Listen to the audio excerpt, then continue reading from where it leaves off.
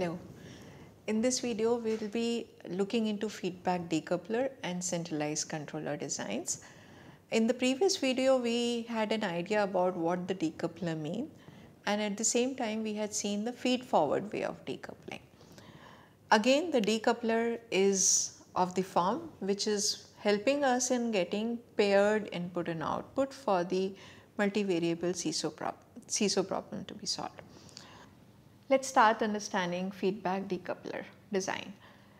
To begin with, we will consider the system as a linear system and the system has m inputs and m outputs. We will consider the uh, square system matrix uh, system matrix uh, uh, dimensions.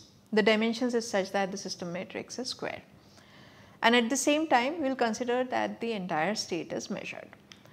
We will understand why these assumptions are important. Uh, we already know that this linear system state space representation is given by x dot equals ax plus bu and y is equal to cx plus du.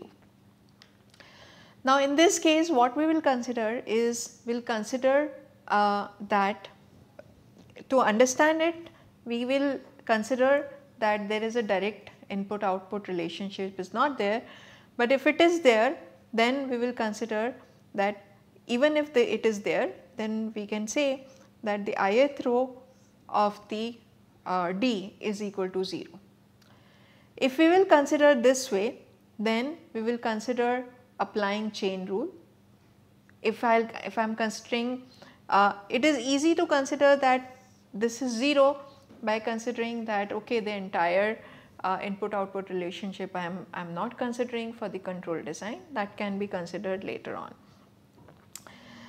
When I apply this particular chain rule then I take the derivative of ith row of y, y uh, this is going to be the ith row of C times x dot alright. Now x dot is now replaced by ax plus bu that I already have. Given this what are we going to achieve with this is that we will keep taking this derivative. Now this derivative is to be taken till I have some non-zero term for the B appears. I am looking forward for designing a decoupler.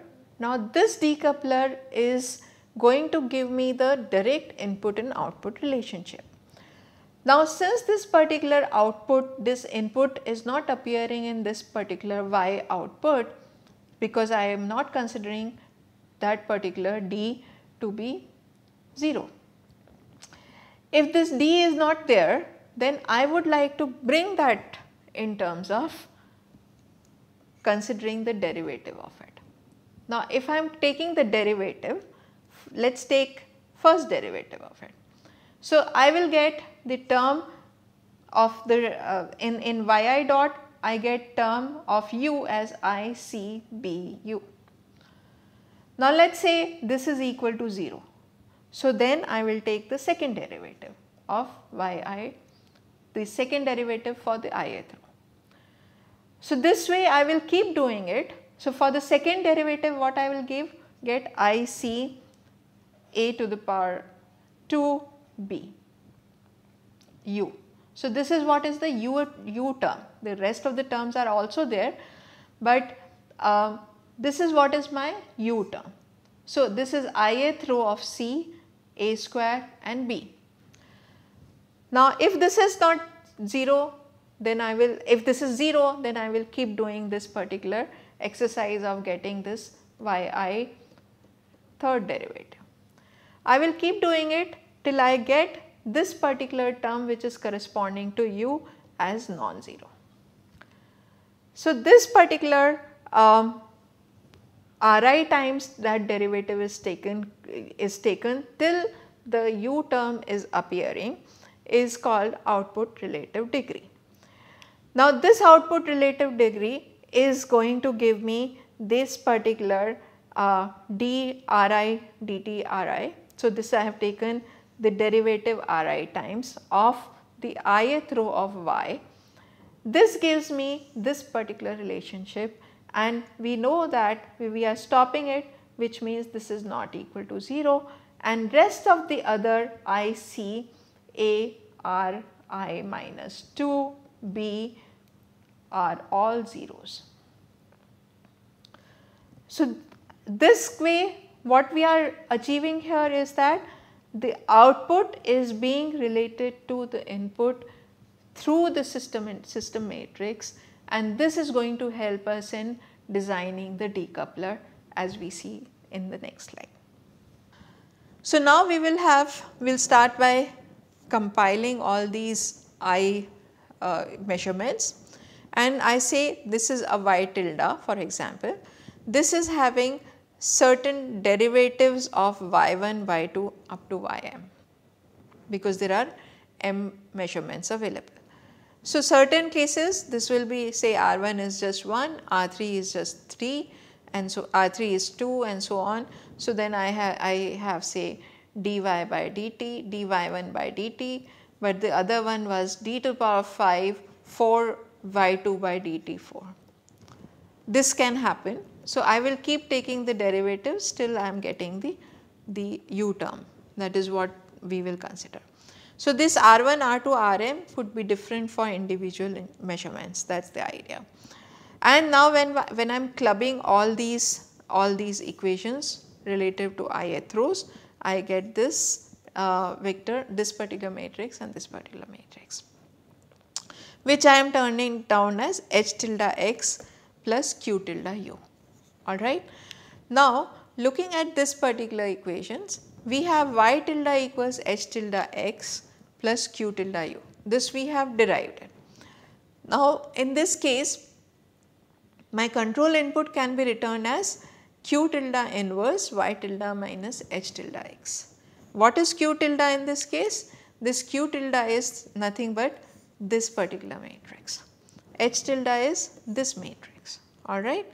So, we have we can now set a form of state feedback such that u equals minus k d times x plus f times u by tilde.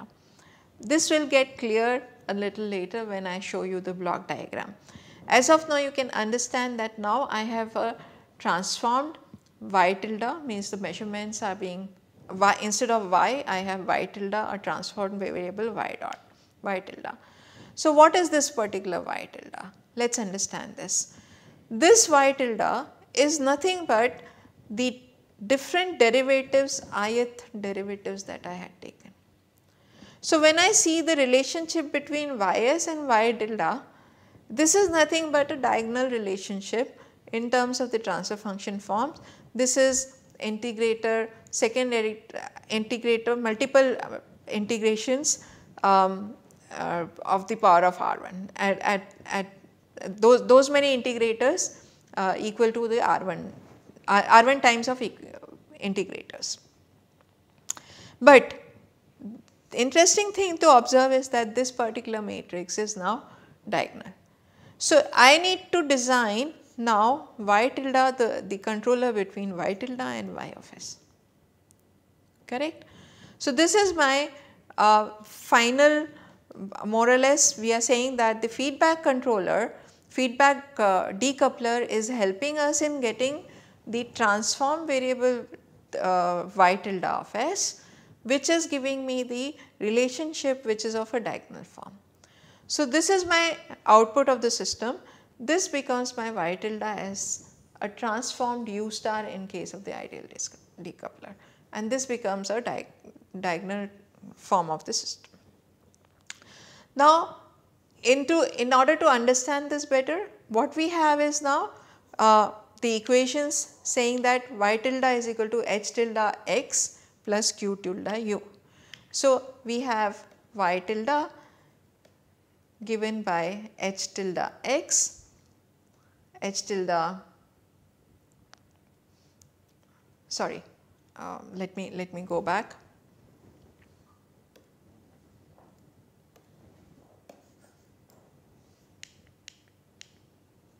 h tilde x plus q tilde u. Okay. So, what we have here is uh, y tilde given by h tilde x plus q tilde u and this is something we have uh, I am representing in the block diagram form. If I have y tilde given by uh, q inverse, so, so this, this term is your q inverse, q tilde inverse y tilde. So, your u becomes q tilde inverse y tilde plus h tilde x correct. So, this is exactly what is happening and, and of course, um, there is a small correction here this will take care of this q in either either I should have q tilde inverse over here or instead of that this block should be over here q tilde inverse alright. Having said that the idea here is to tell you show you that this particular form is now my diagonal form. And because there is a relationship between y and y tilde which is giving you a diagonal form. And we solve this by the way of a feedback methodology which is involving Q, Q in Q tilde inverse H tilde. Alright. Similar to the previous case you have Q tilde and its inverse appearing here. But at the same time there is a high chance that you do not again this q tilde inverse is dependent on the uh, A matrix, C matrix and, and so on and so forth, C, C vector and so on and so forth. Fair enough. Let us see uh, you would you be able to find a feedback decoupler if you have been given this particular A, B and C matrices. You this is a homework problem use the same method to convert the system in the diagonal form using feedback. As a summary, the diagonal behavior using coordination of the sensors and actuators when this is needed, this, this becomes a very powerful technique mainly because it uses a feedback methodology for conversion to the diagonalization. It cannot be achieved using standard industrial regulators but at the same time one can design since now we, have, we already have digital method methods available we should be able to design for newer applications this q tilde and h tilde matrices to get the feedback methodology for uh, getting the feedback is always bet is better in terms of the model uh, robustness and so on and so forth. Disturbance rejection is only if your disturbance enters independently independently at each output. In the previous case, this was very prevalent uh, feed forward way of decoupler design. Here your, your disturbance rejection is going to be better because this is getting more or less solved with the help of a uh, feedback method in any case. It is also sensitive to the model errors because you have designed new blocks which are q tilde inverse and h tilde which are dependent on a matrices, uh, the system matrices and the in, input and output matrices. It needs this particular methodology specifically needs full state measurements. Having said that, this particular method has been used in many practical cases where you have the full state measurement available and you have the nice methods to get the derivatives of the uh, derivatives of the um, derivatives of the uh, measurements available and so on. Alright. Now coming to a centralized control method. Now you have looked into um, MIMO system which can be simplified as a MVSISO method, but in certain cases that is also not possible. So then I will have to design a centralized controller. I am not looking at designing independent SISO systems, but a centralized control system which would be able to which will be able to control all the states. So, in this case um, I am again going to use a very simple methodology pole placement which we are using in the SISO methods.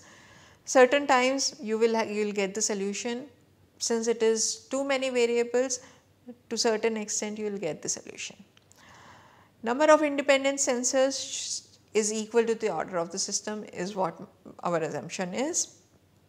All the or in, in other way we can say all the states are measured.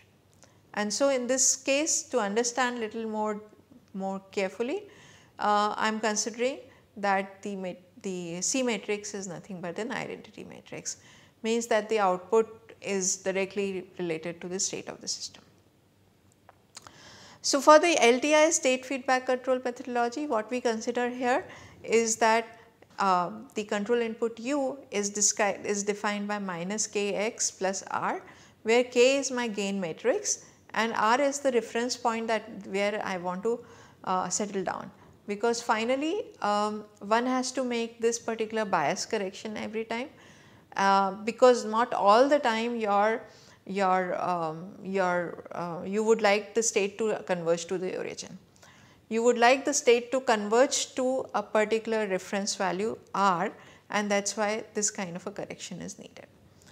So, for example, now I have this particular uh, uh, gain matrix K11, K12 is to be considered.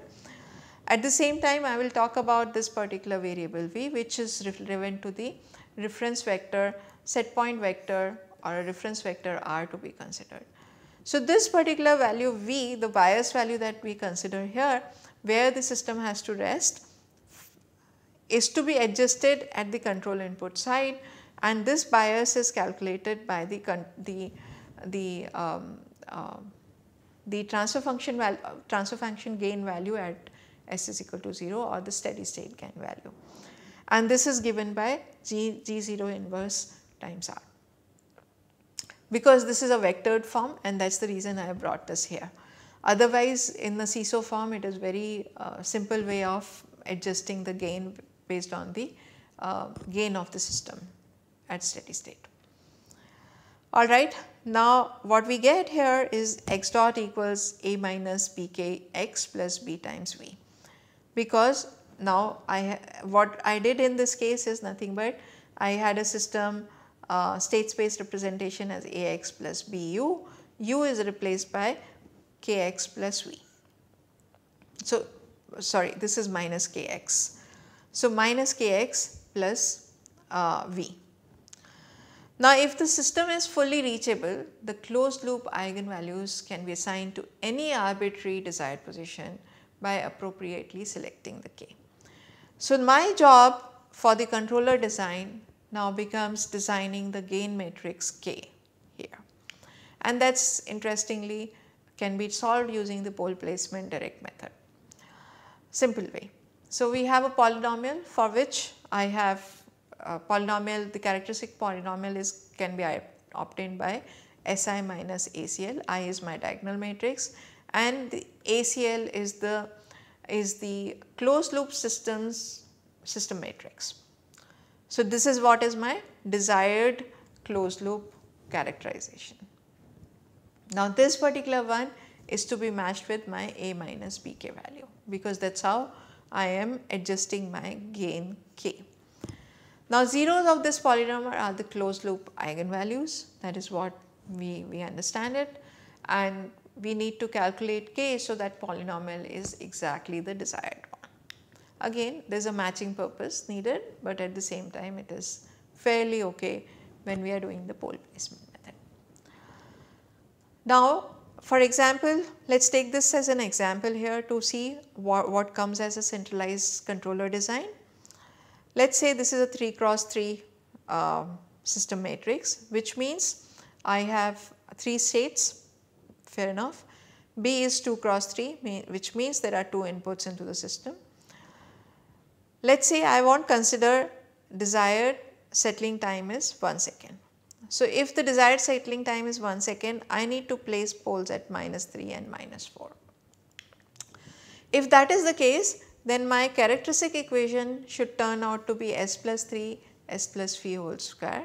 Let us say we want to place 2 poles at minus 4 because I have a third order system sitting there. I need to have some idea some, some desired poles to be considered as third 3, 3 number of poles to be considered.